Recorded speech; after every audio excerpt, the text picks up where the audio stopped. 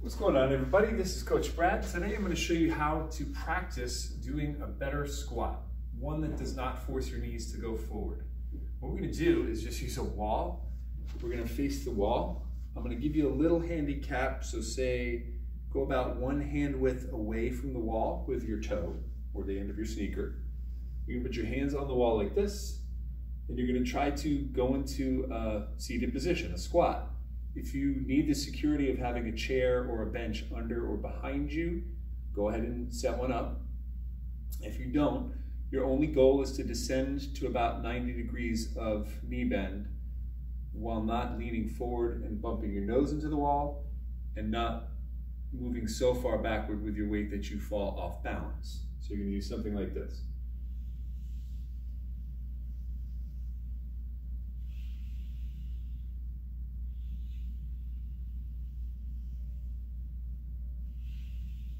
Keeping your back nice and straight. If that's too easy, go ahead and move up about two inches. So half the distance that you started with, and try it again.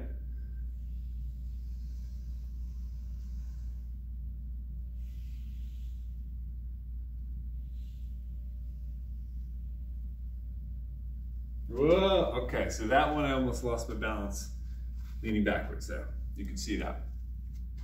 You'll start to feel your toes peel off the floor.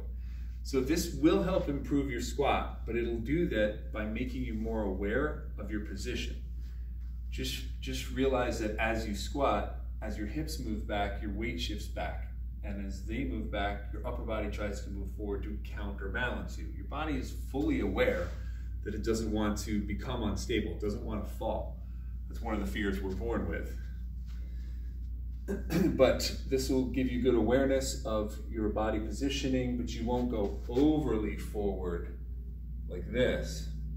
And you won't shove your knees too far forward because they'll just hit the wall. And obviously we're trying to avoid that.